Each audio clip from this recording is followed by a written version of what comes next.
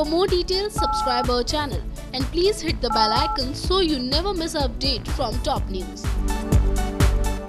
Star Plus के show Kulfi Kumar Bajewala के आने वाले एपिसोड में आप देखने वाले हैं कि जल्दी कुल्फी अपने मामा से मिलने की कोशिश तो करेगी ले, लेकिन उसके मामा की तबीयत भी खराब हो जाएगी जिसके बाद कैसे बचेंगे उसके मामा और कैसे कुल्फी अपने मामा से मिलेगी ये सब हम आपको बताएँगे लेकिन उससे पहले आपको याद दिला दी कि कैसे शो की कहानी में इन दिनों ईद मनाई जा रही है जहाँ एक बार फिर से बाप और बेटी, यानी कि कुल्फी और सिकंदर दोनों एक जैसे कपड़े पहनकर पहुँच जाते हैं सबके सामने, जहाँ वो लोग सबको ईदी देते हैं। जिसके बाद अब हम आपको आगे की जानकारी दे दें कि शो के आने वाले ट्रैक में आप देखेंगे कि कैसे, जहाँ एक तरफ़ सिकंदर गाना गाएगा तो वहीं उसकी बेटी, यानी कि कुल्फी भी गाना गाकर सबको लुभाएगी।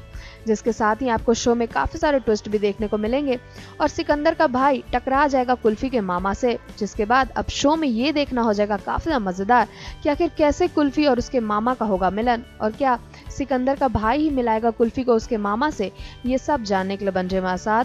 फ़िलहाल मैं शो में बस इतना ही। और भी अपने फेवरेट शो कुल्फी कुमार बाजेवाला से जो लेटेस्ट अपडेट्स को जानने के लिए सब्सक्राइब करना ना भूले हमारा channel top news just for you top news से काजल की report For more details, subscribe our channel and please hit the bell icon so you never miss an update from top news.